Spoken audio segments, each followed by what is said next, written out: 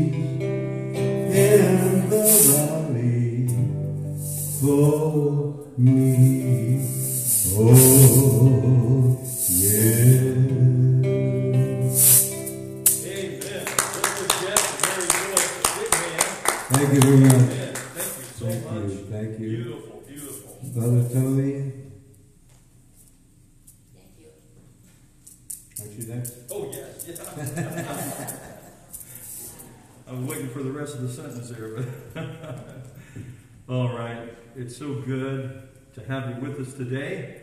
And uh, again, we are following the guidelines to wear our mask. And so, if you don't have a mask, we brought some new ones in that are cloth that you're welcome to take. They're up there. They've got different little pictures on them. They're really stylistic, you know, if you want to wear them. So I'm just saying, uh, especially when you get out of the pews, put your mask on for sure. And outside, don't forget to wear your mask outside. I, uh, you know, I've been at funerals and different things lately. And uh, James, you were telling me that uh, a funeral you went to even. Uh, now I was at a funeral that I had to do this past week, and everybody was wearing the mask just like they were supposed to. I was so impressed, and of course I thanked everybody several times for being cautious and following the state guidelines. But you said you were one that one several months ago, maybe that uh, the people just weren't following the guidelines. But it wasn't quite as bad then. Now it's you know we need to really be concerned. Let's pray that the kids get to go back to school. As a grandparent, I know you know my insistence on that, but uh, but we really want everybody to be safe. So thank you for following the guideline. Uh, we're every other pew here, trying to find uh, follow the six foot guideline there, and so thank you, thank you so much. And uh, it looks like things are running along pretty good with the church situation, and we're getting close to closing the church loan. Uh, we still don't know the equity in the building yet. We're hoping that'll stand for the down payment, and uh, we are looking forward to getting this thing taken care of. So continue to pray this way. We need you to be consistent with your giving, uh, with your giving and your donations and your gifts. Please do. All right, now let's look at uh, the message today is going to be uh, experiencing the fullness of joy. Now, just, I don't know if you've noticed it or not, but just because, just because we're saved doesn't mean that we're experiencing the fullness of joy that we should be. Now, what kind of things can get in the way of that ex- uh, experiencing the fullness of joy? Well, why would we not be happy from one day to the next? Well, we live in the real world here. And we can go to work, and sometimes things don't go well at work. You may have noticed that. Sometimes you run into family and different things, and they may not say the nicest things. And we thought they all loved us. You know, I'm just saying.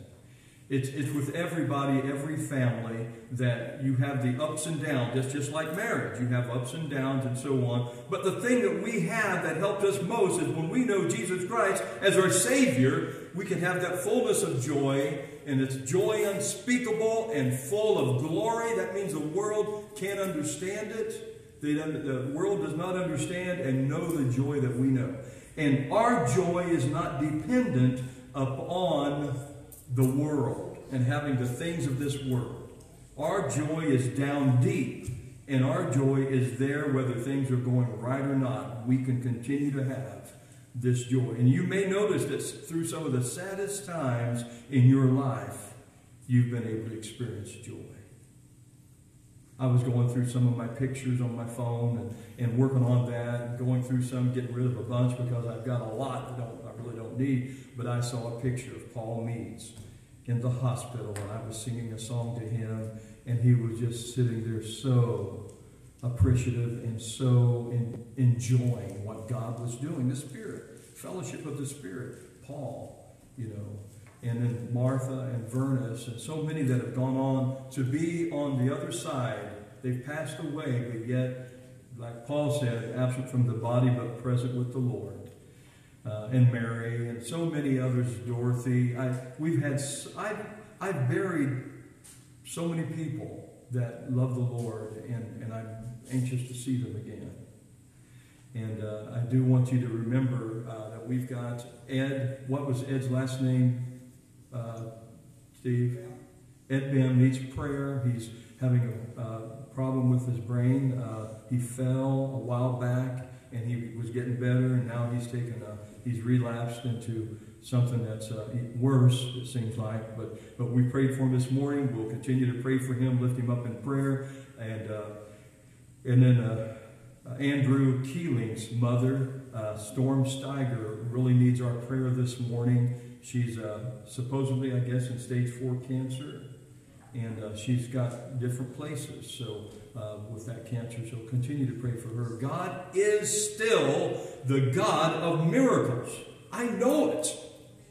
I've seen it in my own life and in my wife's own life. She had a tumor the size of a softball when we first got married. And it was four years into the marriage. We were wondering, why are we not having kids? She went to the doctor. The doctor found out she had a cyst. It was a tumor, big as a softball. And she was so sick a lot, you know. Here she was petite and frail, but at the same time, she had this pain in her side here. And she had that taken care of. So God helped us to have children. She had a miscarriage later. And I said, Carlene, you got to remember, if you can have a miscarriage, that means you can conceive. The doctor said 99% chance you'll never have kids. And she conceived. And, that, and think about this, I'm going to tell you this. She had had that cyst removed. They removed three quarters of the uh, female part. I can't remember it now. And then and then re, they had to straighten up, uh, and they had to remove the fallopian tube on the other side, and then they had to straighten up the one that was still intact, but yet it was scar tissue from the appendicitis attack she had and an operation she had when she was a kid. And so he said it was mangled. He said 90. He came out, Dr. Reed in Sidney, and what a good man, godly man now. And, and uh, he said, there's a 99% chance you'll never have any kids. And he described what was wrong there. He said, I did the best I could. Apparently, he did everything God wanted him to do because she. Now we've got four kids. Yes, four kids. God blessed. And children are a blessing from God. Just want you to know God can handle it. We're just going to pray that God will do another miracle. Went to the doctor. The doctor said, uh, I said, What's wrong? I said, You know, I'm having some problems, and I, I just wondered if uh, what it is, maybe my heart situation, I had cardiomyopathy. He said, It'll, You'll have it the rest of your life, it'll never go away. And, uh, and he showed me a picture. He said, Look, this is what your heart looked like. But this is what it looks like now. He said, I can't believe it. Where did it go? You were full of infection all the way around your heart sac, all over your heart. And he says, It's gone. My dad said, We've been praying for healing. How about that?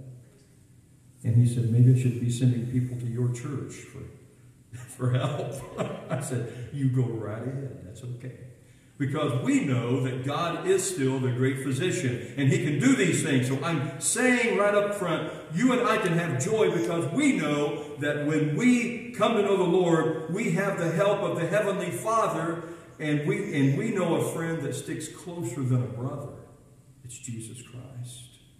He loves us. We are His brother. We are, we, and we, He said that if, if you love me, if you know me, you know the Father. And he said, Anything you ask in my name, I will do it for you. Of course, we don't want to ask things out of his will. But see, my father said this. He said, When you get saved, you come to know the Lord as your Savior, your want to's change. The things you want in life now become the things that God wants to be in your life. The right things, the good things. Because you can have all the things in the world and still not be happy. But you can have fullness of joy. And it's a wonderful thing to have that fullness of joy. Okay, now let's look at. Uh, uh, John chapter 15, how to experience that fullness of joy. The Lord wants each of us as His children to experience that fullness of joy. And He said, I've told you that you may, that uh, my joy may be in you, and that your joy may be full. That's John chapter 15. Look at verse 11. These things have I spoken unto you that my joy might be might remain in you, and that your joy might be full. Now here's the thing. Some people, even though they're Christians, they let the things of this world cover their joy and take their joy away. And this is something that we don't have to do as God's people. You and I, when we've got that joy in our hearts, He says He wants us to have, He wants us to be full of joy. That, that He said, and I want that joy to remain in you. Now, He, didn't, he wouldn't say that if it weren't possible for that joy to leave sometimes. But he said, I want it to remain in you. He's speaking to the apostles here too. But he's speaking to us also. These are things that God gave us. And these are from the very words of Jesus himself. Now, if you look at chapter 14, which we're in 15 right now, but if uh, 15, 11 right now, but if you'll look at chapter 14, you don't need to do that. But I just want to tell you what chapter 14 is about. It's about Jesus telling the apostles and us that he wants that, that he wants us to be where he is. And it says, Let not your heart be troubled. You believe in God, believe also in me. Chapter 14, verse 1. In my Father's house are many mansions. If it were not so, I would have told you. I go to prepare a place for you. And if I go prepare a place for you, I will come again and receive you unto myself, that where I am, there you may be also. And then verse 13 says, and whatsoever you shall ask in my name, that will I do, that the Father may be glorified in the Son. So see, the Father wants to do good things. In James chapter 1, verse 17, one of my favorite all-time verses, it says that that all good and perfect gifts come from the Father of lights from above, and in whom is no uh, variableness nor shadow of turning. This means that God's character does not change. God is good, God's word says, and He wants to do good and perfect things in Storm's life, in Ed's life, in my life, in your life, especially those that know the Lord as their Savior. We are His children, and He wants to do the very best for us. I still remember the time when I was dating Carlene. I was over at her mom and dad's house, and, and we were walking around, you know, the country uh, the, the, the, country house, and, and there were lanes, and we walked down the lane. As you drive up, there's a lane there that's really, and you know, you get to see the flowers and everything. And I noticed this little paper wad. I said, Somebody threw a piece of paper down. I'm going to go see what that is. She said, No, it'll be okay. I said, No, I, I don't know why anybody threw a paper down like that. It's strange color too. It's like lavender or something. I'm gonna go find out what it is. And she ran. She started running. And of course, I had to run too because when I realized she was running to get that paper wad, I wanted to know what that paper said because I figured it was something she didn't want me to see. So I ran, and she got that paper before me and crammed it in her mouth and began to try to chew it up. Oh. Yeah. And so I laughed and I opened up her mouth and I took that paper wad out. Yeah. And I opened it up and it said, Mrs. Tony Richmond. What? And then she had played that game where you strike out one letter from my name, strike out another letter from hers, and somehow it's supposed to tell that you're meant for each other or something. I don't know the game, you know, but I thought, that's not a bad idea, you know. See, she was hinting for me all along to marry her. That's just when we were dating, just probably the first year, maybe the first summer. I don't know. So, uh, anyway, you know, this this is the kind of love that we understand. It's, isn't it a wonderful love to have that kind of thing? And I know you've experienced, most of you experienced that kind of love. And then we kind of have that love for our children too. It's a love, and uh, it's it's kind of a, a love that and a, a, and a joy that passes all understanding. But see, this kind of love and joy is not dependent upon the world and upon the things of this world. It's the love that is down deep inside. And I knew in my heart that this would probably be a good thing. That what she had thought about was something that I had been thinking about anyway. I hadn't put it into words yet, but she put it into words for me a couple times. It's okay. It's okay if somebody else has to tell us what we need most. Can you believe that would happen? That somebody might have to tell us what we need most in our lives? Sure. Because sometimes, guys, we're not smart enough to figure it out on our own. We need the elbow, you know. We need somebody whispering in our ear. And that whisper, whisper, that whisper can be so sweet when it's somebody we love. And it's somebody that we care for so much. Listen, God knows best. He knows best. He knows what we need more than anybody else. So I want to share with you if you and I want to have fullness of joy, chapter 15, verse 11, these things have I spoken unto you that my joy might remain in you and that your joy might be full. That fullness of joy. It's like the love of your life declaring to you that she'll love you forever, which Carlene did to me. And I was happy to find that out, even if it was in a paper wad that was messy. Somehow I didn't mind her chewing that paper wad up. I could still read it. I still got it. Can you believe that after all these years? Yeah, 45 years later or more, I still got that paper wad. I was looking last night, and I've still got my love letters. Some of them. Some of them haven't lasted. They got, you know, got wet or whatever, but I've still got some.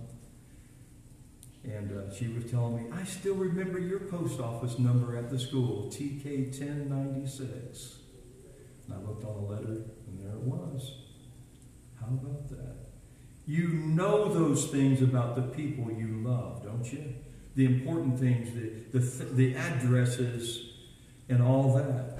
But it's important to know the one that you love the most when you come to know Jesus as your Savior, and the one that loves you more than anybody in this whole world understands your needs better than anybody else. Wants you to have the fullness of joy, and our joy is not dependent upon every whether everything is going right in our lives. Some of the things that have, I've been blessed with the most have been the things that were uncertain at the time for me when I had to trust the Lord and depend upon Him to bring me through a circumstance and trust enough in Him to do things His way and give it to Him. One preacher said it this way when I was growing up. I still remember this. Even before I was saved, I remember this. He said, Some people will fall under the conviction of God and see the right things that they need to do, and they'll even come to the altar and pray that God will answer their prayers and they'll lay them at the feet of Jesus at the altar. That's wonderful, isn't it?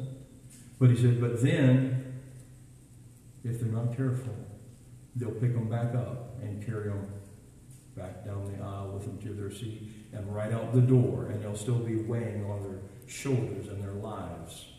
Because you can give things to Jesus, but when you've trusted the Lord to take care of it, and then you go and pick it up again and walk around like there's nothing wrong, you're lying to yourself. You're cheating yourself of the blessing of knowing the fullness of joy that God can give and wants to give you. So let's not let the burdens of life, the things that are not going quite right, weigh us down. Let's trust the Lord. Jess, you know, anything we ask in Jesus' name, He will do it. Now, He's not going to give me a Lear jet because I really don't have a need for a Lear jet, you know. He's not going to do some things for me that, that maybe I'd wish that He won't make, make me any prettier than I am. I mean, I'm, I'm stuck with what I got right here. But the fact is, God's Word says what you can't change your stature, your stature. You can't change that at all. But the fact is, who needs a pretty face as long as we've got a beautiful heart? Right? Carlene was fortunate enough to have both pretty face and a beautiful heart. And by the way, those are the kind of people we need to we need to know in life, isn't it? We have to be careful. My mother, did you ever hear this? Birds of a feather flock together. Even God's word in Proverbs talks about be careful who you spend time with, who you claim to be your friends, because they can pull you down. Be careful. Get, you can get in trouble. Just by association, you can get in trouble. You know how many people have gone to prison because they were associated with criminals? A lot. They may not have done anything, but they were with them. They were driving a car that somebody got out of and did something wrong. You see what I'm saying? Or they were walking with somebody, the last person that, that, that was seen with them, and, and then they got into trouble, and all of a sudden they're an accomplice. You and I need to be very careful who we spend our time with and who we give our thoughts and our lives to in such a way that they could misuse us or mistreat us. Be cautious. We can be godly and we can have that fullness of joy, but we can also be, let me just say, stupid. By putting ourselves in harm's way, throwing ourselves under the bus when we know better. And God will tell us a lot of times, you know, He'll just, in this, this instinctive feeling that we've got, it's a discernment, actually. God gives us discernment when we come to know Him as our Savior, Lord as our Savior. And so when we do that, He gives us discernment that we never had before. Before, when I was lost, I didn't know I was doing wrong. I was trying to tell myself I. But I knew I was doing wrong in the world's eyes, possibly, but you know, the world was doing wrong too. But when I came to know the Lord as my Savior, now all of a sudden I had the Holy Spirit who had taken up residence in my heart. God's Word says He does that. He comes to live within us and be the light of the world through us and in us, and He gives us discernment that the world doesn't have. The people of the world don't have. We have it as God's people. And that discernment shows us when we can be need to be careful about what we're doing. So just want to say some things to you. There's a great difference between joy and fullness of joy. Oh, you can have joy in life. You can be happy that you're a Christian. You can be happy that you've got a church to go to. You can be happy that you've got a family and you've got a wife and somebody that would have you. Right? Somebody that you that would, would uh, have each other, you know, husband, wife, so on, people that would spend time with you. Wow. And knowing some of you, that was probably a big deal there for quite a while, huh? Maybe. Somebody that would put up with you. Yes. But the fact is, when we come to know the people that God wants us to know, He blesses it. He brings us joy. And there is a difference between joy and fullness of joy. Did you know we can cheat ourselves out of the fullness of joy by not being in fellowship with God? Did you know that? If we're not in fellowship with God, God can't bless our family and our life in our home. He can't, he can't do that. We'll, the other rain falls on the just as well as the unjust. There's some things that will come our way. But as God's children, He wants His hand of blessing on you in a wonderful way. He does. He wants to give to you. He wants to bless you. He wants to protect you. He wants to heal you. He wants, and I love this. God's word says He will even keep our minds and our hearts. I like that because sometimes you ever feel like you're losing your mind? You got so much going on around you, and you you know the kids and the work and and all this and the relationships and the family and and all this stuff, and you're wondering, "Ah, I don't know how much I can put up with, and then you have to turn to the Lord. Lord, help me. Can you help me? And of course, He does. And he gives you words to say, and he gives you words that he's shown you in his word. Just cast your cares upon me, he says, because I care for you. Oh my goodness. I take a lot of joy in that. I get a lot of joy from that. Cast your cares upon him because he cares for you. But don't pick them back up before you get out of church today and carry them out there with you. Give it to the Lord and let Him do what He needs to do with it. You pray and ask for God for healing for somebody, trust Him to do it. Don't keep picking it back up. You trust Him to do that healing. Trust Him to take care of your needs in your life. Give it to the Lord. He knows what you need better than what you do. And here's something else He does. He'll place people around you if you not if you're not getting it to help you to see what you need better than you do. He'll put godly people around you. He'll put people around you that he can touch in their minds and hearts, sometimes even if they're not Christians, to say things and do things that will stir your heart and mind through the Lord, because he can use lost people. He can use other people to help you and to help you know what's best to do. He can use people that are not his, I mean, that are not, haven't accepted him, to cause them to help you. There's so many examples of this in the Word. And so, uh, as we look through this a little bit more, we're going to see some vessels are partly filled. Did you know that? Partly filled. They're not completely filled. Uh, the, our, the Lord's desire is for us that we should experience the fullness of joy continually, that it will remain in us, and that it's not necessary for you and I to have everything go right to have that fullness of joy. Like I said, I've noticed that some of the worst times in my life was when I knew that God was going to take care of things. I remember when Carlene was going in for that surgery for the tumor she had. I was crying. It hurt me. I was worried. I was concerned. I didn't want to lose the one I loved. And I knew the Lord. I knew the Lord. But in my own mind and heart, I couldn't see my wife being in this kind of situation. And we'd only been married just a short time. And I'm thinking, wait a minute. She's going through this. I found the joy of love in my life that I've never known before. And she's going through this. I don't know if she's going to make it through. Lord, of course I was praying, Lord, help her, take care of this. And she looked at me with calmness and a smile. She said, Tony, it's going to be okay. I've already prayed about it. Trust the Lord for it. He's going to work it all out. I about fell over. I thought, what? She's going through the surgery and she's got full assurance, and I have no assurance. What's wrong with this situation? Well, I took, I took comfort in her fullness of joy right there. It helped me when other people are touched by God and He shows them it's gonna be okay. Trust the Lord. Let Him show you it's to be okay. It may be the worst thing you've gone through in the world. It may be anything in life. It could be character def- defamation, where somebody's trying to defame you or attack your character and make you look bad. God can bring you through it. It may be financial destruction that somebody's trying to bring your way. Don't worry about it. God's handled it before, He can handle it again. It may be job related stress and ridicule and hurt and discrimination. Don't worry about it.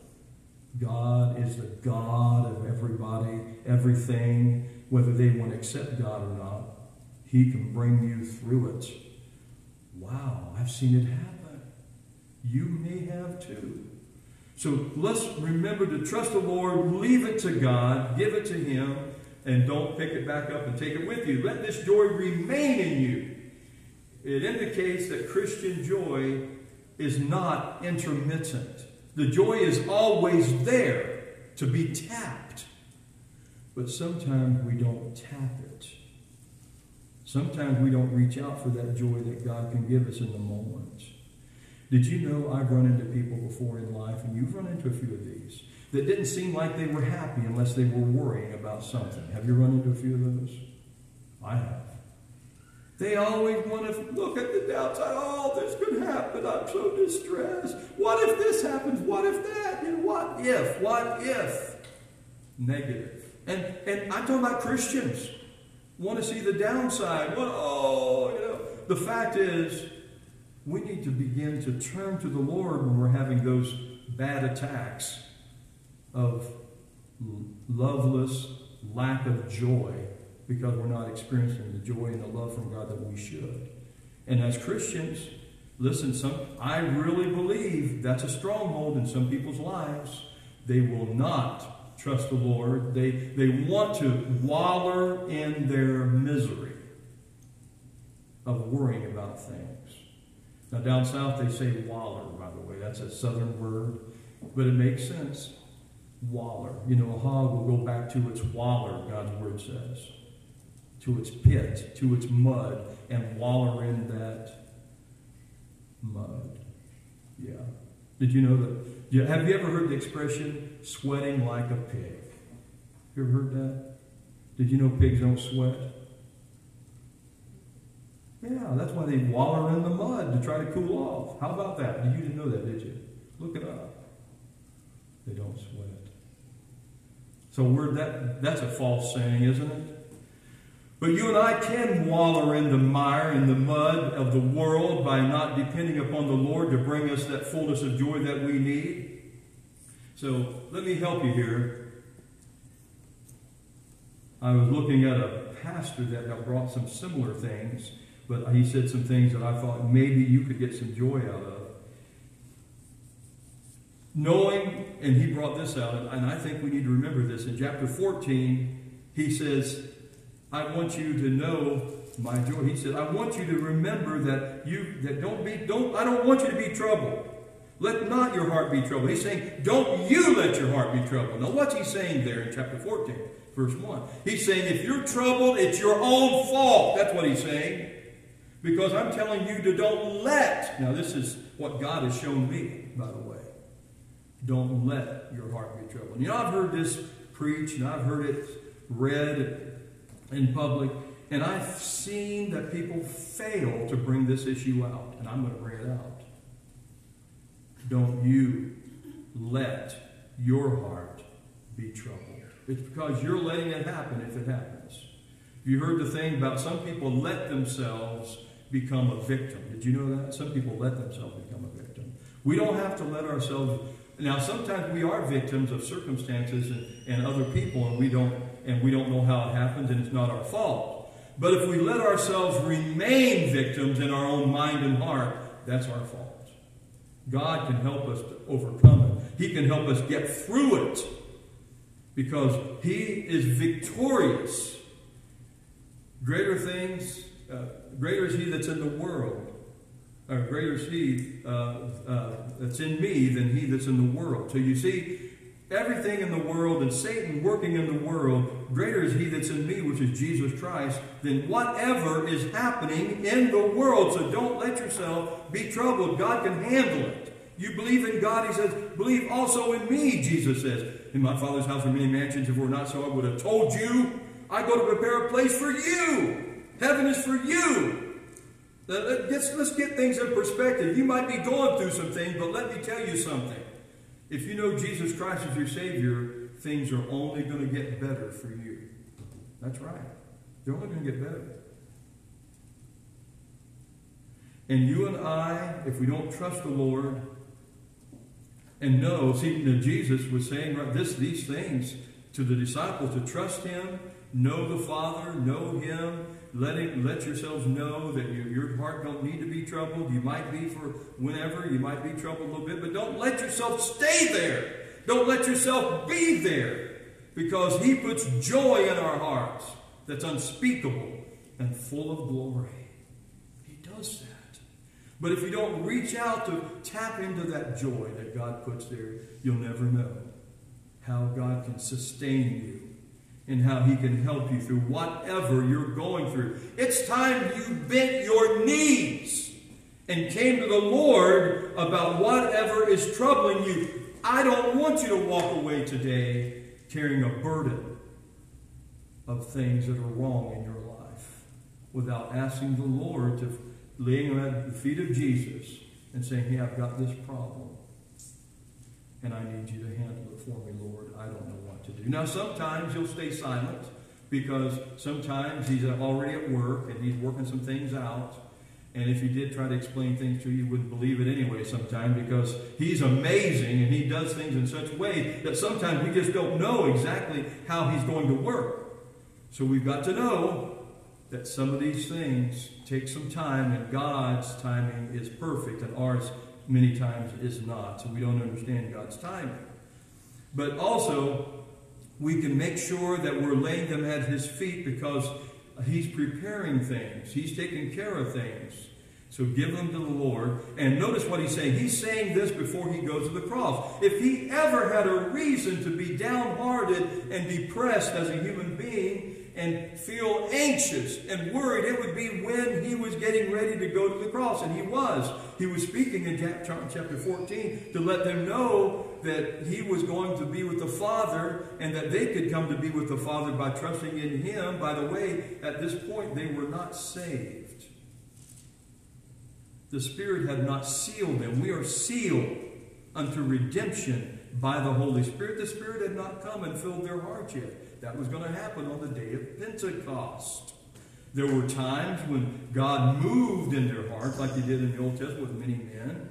But at this point, they had not been saved, so that discernment that was not constantly with them. Yeah, the Holy Spirit filled Peter, and he said, and when Jesus said, Who do you say that I am? And, Or do men say that I am? And they said, Well, John the Baptist come back from the dead because it hadn't been chopped off, because he became a martyr. They, they killed him because he was willing to speak against the king. Uh, Herod, uh, here he was uh, married you know, wrong because he had uh, done the wrong things and and uh, he, had, he had problems in his life. And you know, John was just willing to point it out. And so it was a bad situation. You have to read about that, about John. It wasn't just a marriage. It was, it was a marriage of a family member that was wrong. I'm telling you, it, it went deep. And everybody was, you know how hush hush they are. Oh, at family gathering. Oh, nothing's wrong, nothing's wrong, pretending everything's okay when it's not okay. And here he was willing to speak out about it to try to help the situation. And uh, Herod didn't want to hear it, so he just, and uh, his wife's daughter danced for him, and he was really impressed. I'll give you anything you want. She said, I want John the Baptist head on a platter. What? He said, I'll give you up to half the kingdom if you want. No, I want John the Baptist's head on a platter. So he said, Who do people say that I am? Jesus said. He said, Well, some say you're John the Baptist come back from dead. Some say you're one of the prophets that's come back. But who do you say that I am? And this is how the Holy Spirit worked with Peter at the time. He made this great statement Thou art the Christ, the Son of the living God. Wow. I wish I'd have said that back then when nobody else had been saying it. What a tremendous statement. The Holy Spirit, he said, Flesh and blood has not revealed it to you, Simon Bar Jonah, but the Holy Spirit, God in heaven, has shown you this. Through the Holy Spirit working in him at that moment. But then it goes out the window because the Holy Spirit was coming and going to different people at the time, and it was not staying with him because the next thing you see, he's whispering to Jesus what Jesus is going to do and how he's really going to die, or he's not going to die like he say, says he is. He's going to lose all of his following, and he said, Surely this is not going to happen to you. And of course, Jesus said, Get thee behind me, Satan, for thou savorest not the things that be of God. Whoa. You know, God has a way of straightening us out.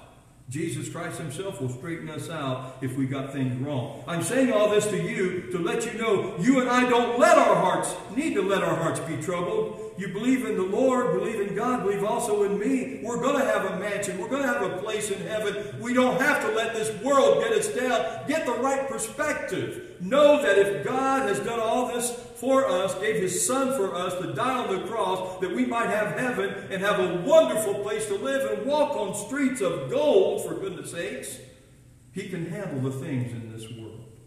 What do you think? He can handle where you work. He can handle your family members, even the black sheep. He can handle your problems medically, financially, physically, emotionally, and mentally in your life. And that's what I was saying earlier. I, I just think it's wonderful that Jesus said, I will, I will keep your heart in your mind. He will keep my heart and mind. I'm so glad He helped me keep my mind. He's going to keep my mind for me because sometimes I lose it. How about you? You ever lose your mind? Yeah, but if we're trusting the Lord, He helps us to get it back. He helps us to retain solidity. He helps us to keep calm and, and, and think straight. Yes. Now, if we're losing our minds, the only reason we're losing is because we're not trusting in Jesus, unless we actually have a physical impairment. And you know what? He can work that way too. He can work through those things. Yes. So he will keep our hearts too. I don't know if you've ever gone through this, but have you ever felt like you've lost your heart? Now listen, if you've ever been in love, you've lost your heart maybe a couple times. Did you ever give your heart away to somebody and then lose it? Because maybe the love was not returned. Carlene, she's done that to me. She, she gave my heart away to her and she crushed it a couple times. Then she said, Well, you crushed mine a couple times too. You know, you've heard the saying, you only hurt the ones you love. Well, what that really means is you really only hurt real deeply the ones you love. Yeah, Carlene, I'm sorry about that. I don't mean to use you too much in an example there, but you just fit right in there. I can't help it.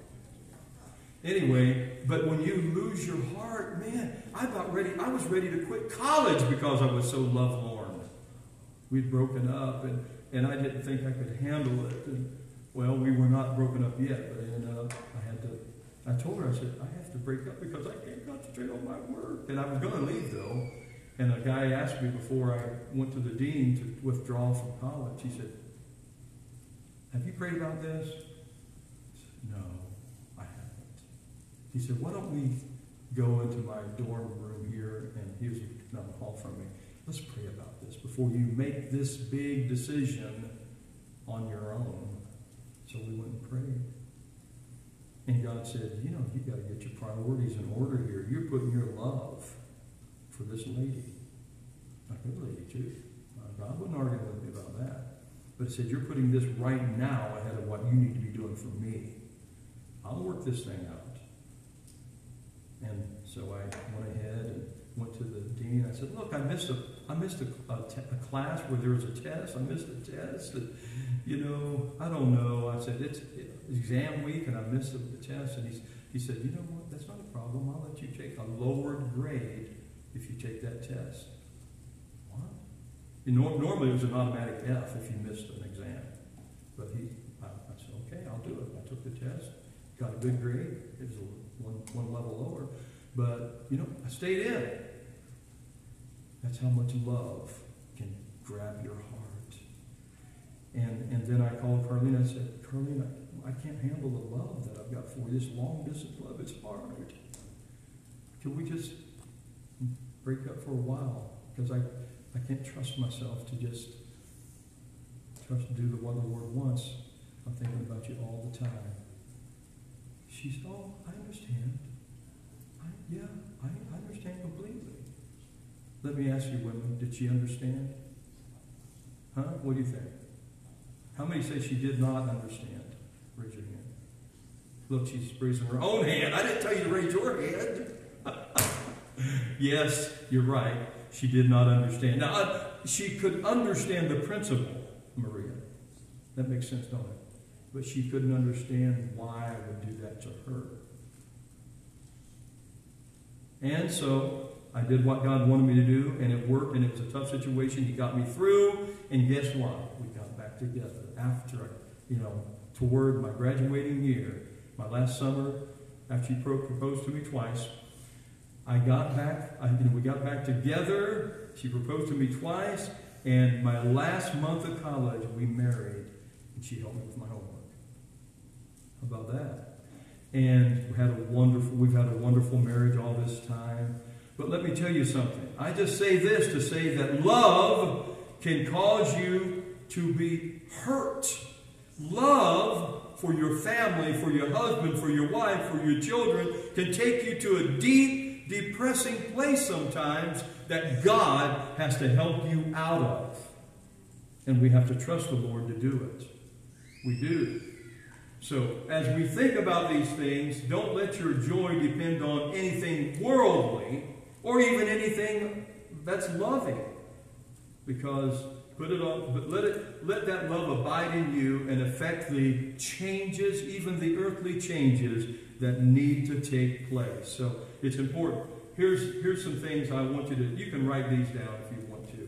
As a Christian, we are to be joyful. Joy should be the prevailing characteristic of our lives. And if you looked at, at uh, Galatians, joy is, uh, is something that we need to have. I had it marked, but it's not marked now. Galatians chapter 5, and if you look at that real quickly with me, here it is. I did have it marked there. Okay. But the fruit of, of the Spirit is love, joy, peace, long suffering, gentleness, goodness, and faith, meekness, temperance. Against us there is no law. So the fruits of the Spirit it is love. Love is necessary, the love that we have for God. But the next thing, when we have the love of God in our lives, we've accepted Jesus as our Savior, that's so wonderful. But it takes more than just being saved and having the love of Jesus Christ in our lives. It takes joy. Joy, peace, long suffering, gentleness, goodness, and faith. So if we have His love and we reach down and access that joy, these are the two active things that we need. Then it brings peace, long suffering. That means we can suffer long with people and situations. Gentleness, it brings gentleness, it brings goodness, and it brings faith. But the fruit of the Spirit, the acting things, are love and joy. Reach down and get that joy that God provides. So what, what is the joy that we should experience each day in all circumstances? In Jesus chapter 15, verse 11, Christ's joy. And let's look at that again, 15, 11. These things have I spoken unto you that my joy might remain in you. Now notice, I looked at this, I thought, wait a minute. It says, Jesus himself said, These things I have spoken unto you because I want my joy. That my joy, the love that, the joy that Jesus, here he was going to the cross in just a short time, and yet he was talking about how his disciples could have joy. You and I, the apostles, and you and I too, that we might, that it might remain in us. Notice the word might. That word is very essential right here because just because we've got the love of the Lord in our hearts and the joy is there that we can access, it might remain in us. What that means is that joy might not be very evident, and we might not be might not be accessing that joy. That it will remain in us through what we're going through. It may be there for some other thing. It may have been there in the past, but is it there right now? Are you letting that joy of Jesus Christ be with you right now with what you're going through? And if you're not, guess whose fault it is? Our fault. Your fault. My fault.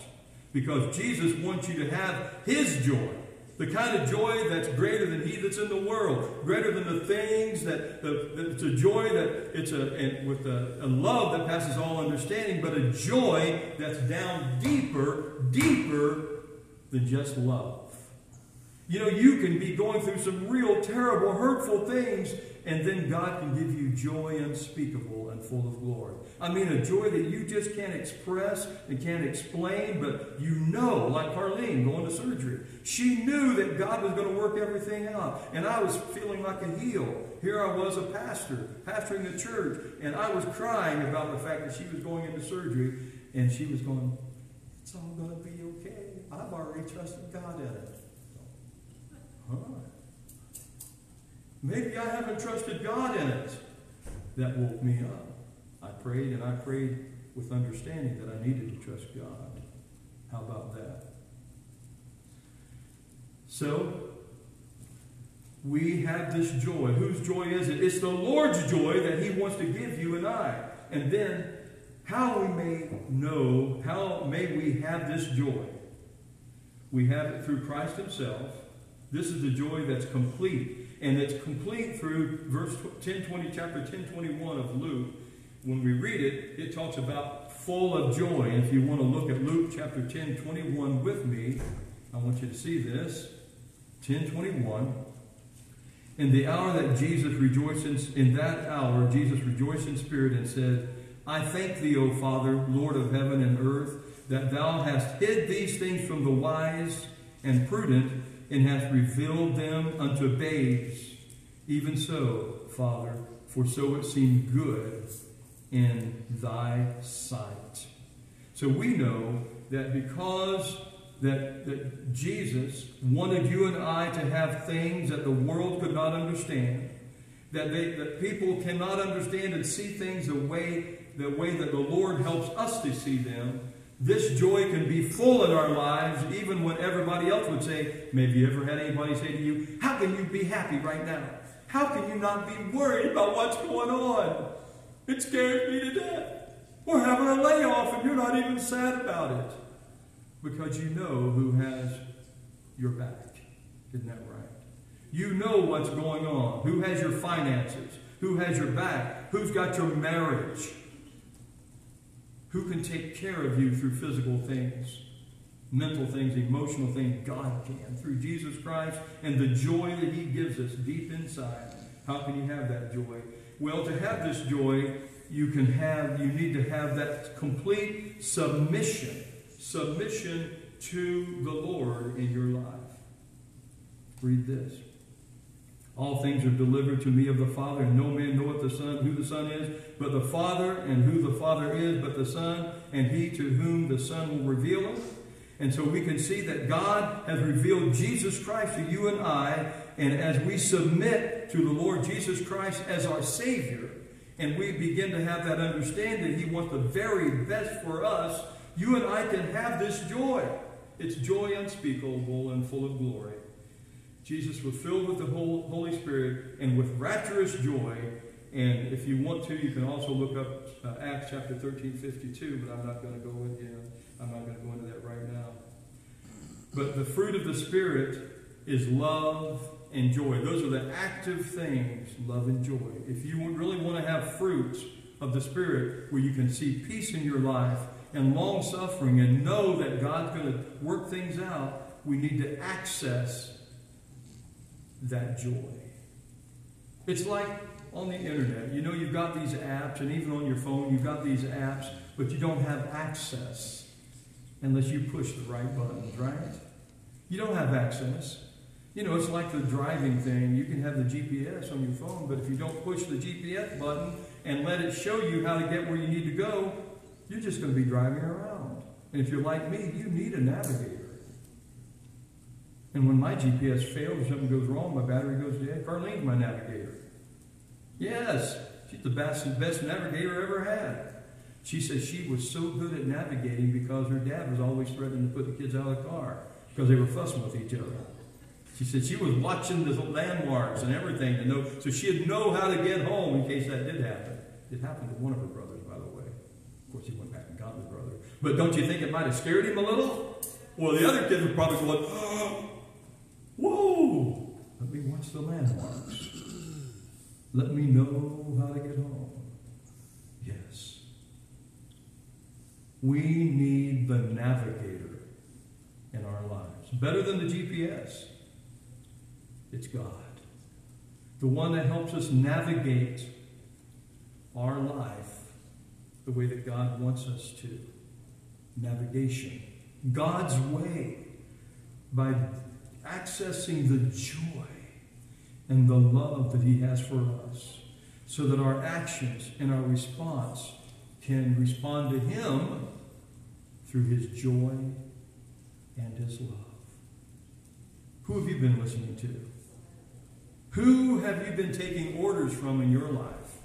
Has Satan been just touching your life and pushing your buttons and causing you to not have that joy and that love that you have? That Jesus wants you and I, according to what we read in Luke, he, he wants us to experience that joy and He wants us to know that this joy is there for you and I. And not only just joy, the fullness of joy. There's a difference between having joy. You know, you can be happy about winning the lottery, you know. You can be happy about doing all kinds of different goofy things. Things go your way. You know the answer for Jeopardy. Woo, I'm happy. You know, whatever, whatever it takes to make you happy for a moment. But listen, joy is something that you can get that will remain with you if you let that Lord, Lord that joy remain with you. Remember, the Lord said that joy, He wants it to remain. He wants it to be there with you so that you can go through life with joy. Joy unspeakable, full of glory. Real joy that the world just doesn't understand. How about you? Are you down? Are you down and out?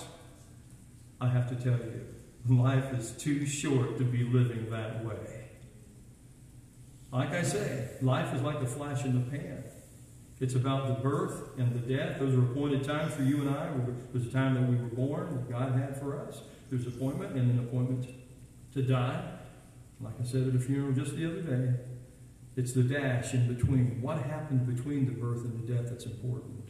And the most important thing that we can have in our life is when we accept Jesus Christ as our Savior. How do you do it? You ask the Lord to forgive you for your sins. That's repentance. I mean, that's forget, uh, getting forgiveness. But then repentance is turning away, not only asking forgiveness, but turning away from your old life, turning to the Lord, and, and then salvation is when you profess the Lord as your Savior.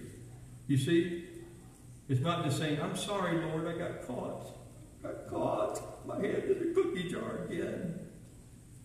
No, that's not what it means. Actual repentance is when we say, Lord, I'm sorry. I don't want to have anything to do with the cookie jar anymore. I'm not even put myself in the road, and you know how I love cookies. But I'm not going to put myself in the way of temptation. And so I'm, I'm trying my best to try to be good the way the Lord wants me to. But it didn't help that we got 50 pounds of cookie batter from a big drop off, food drop off. Can you believe that? Somebody that has a problem and an addiction to cookies got a 50 pound bag of cookie mix. Terrible. I think the old devil was at work. I don't know. But the fact is, what can you and I do? Is Satan pushing your buttons? Ask God to forgive you. Repent. Turn from the way you're living. Turn to the Lord. And what that means is you say, Lord God, I believe that Jesus Christ is the Savior, that you sent him to die for me, and I want to accept him as my Lord and Savior, and I want him to abide in my heart. Take up residence, and I profess him, Lord, I accept you as my Lord and Savior. That's how easy it is. So when we do that, we have to see that God is at work. All right? Now we're going to come to close. Stand together if you will. If you'll stand together with me, we're going to have a word of uh, prayer. Dear Heavenly Father, all those today that are in need of prayer, would you raise your hands if you need prayer this morning? I just want to know who to pray for. Please. Okay. Thank you so much. Thank you so much. Thank you. Dear Heavenly Father, I just pray that you touch the hands of these that are here. And if these uh, prayers uh, these that have these concerns, you know what they all are. You know each heart, each mind.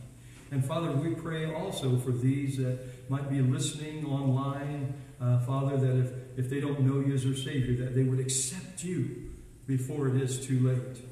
And Father, we also pray for these that have problems in their lives that they're going through, and that fullness of joy is not in their lives. They're not accessing that joy that you want them to have because they're not trusting you and they're not giving these things to you. And, and if they are, they might be picking them back up and worrying about them and letting them make them anxious. Help them, Father, to not do this. Help them, Father, to, to just ask you to take these things and show them the solution that they might need to have. Just give it to you, but allow you to show the solutions to us as we give it to you. And then, Father, help us not to pick it back up and do things our way, but to let the actions be your way, what you want of us in our lives. Not ignoring the problem, but giving it to you and finding your solution your way. Thank you, Father. We pray that you just bless these that raise their hands. There are many, Father, requests today. We can see that on their hearts. We pray that you'd answer prayer, that we give these people to you right now as they, they have their own problems that they're going through. They need your joy. They need your love. We pray that you do this for them. In Jesus' name, amen. Now we've come to a close, and uh, I'd like to ask uh, Terry Brandon. By the way, Terry Brandon has brought some great tomatoes in and if you will, access those tomatoes. Some of the best tomatoes I've ever ate. You can just cut them and put salt on them if you want to, and I like that way, and eat them, and they, they got this kind of a sweet taste too. And then somebody donated four bags of clothes. There's some some dresses back there you might want to look through. I don't know, 10, 12, whatever the sizes are. And then there's some jeans that are 12, 14. These are women's clothes go ahead and look through them. If you don't decide you don't want them, then I'll, uh, or if you don't, if you want to take them, you know somebody can use them, take them, please. And if you don't take them, I'm going to give them to Sammy. Take, no, I'll take them to I'll take them to Goodwill, and uh, and she'll probably have to put them away. All right. Well, God bless you. Thank you so much for being with us today, and uh, I hope you have a good week. Continue to pray for our church and the support we need and uh, this loan situation to close and that we get the equity that we need so we can get this without a huge down payment. You know, we, we just need God's help here, okay? All right. Terry, would you dismiss us in prayer? And remember to put your mask on now before you go out into the public in the aisles and outside. The last thing we need is somebody look around and see a bunch of people without masks on outside our church and then call the attorney general on us or something, you know, or call the health department. Now, they're doing those things too, by the way. So keep your mask on while we're out fellowshipping here and uh, do the right things so we don't give the Lord an eyesore, that we don't become an eyesore in, you know, for God. Uh, Terry? Gracious Heavenly Father, we just thank you, speak to us and strengthen our hearts, strengthen our faith, Lord. We just pray, Lord, as you continues to help us to go through life and count it all joy